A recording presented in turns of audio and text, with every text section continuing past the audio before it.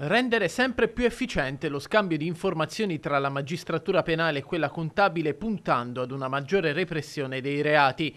E questo è l'obiettivo del protocollo sottoscritto ieri pomeriggio dalla Procura di Teramo e dalla Procura regionale della Corte dei Conti. A firmare il documento, che arriva dopo quelli già sottoscritti dalla Procura teramana con IMSS e INAIL, il procuratore capo Antonio Guerriero e il procuratore regionale della Corte dei Conti in Abruzzo Maurizio Stanco.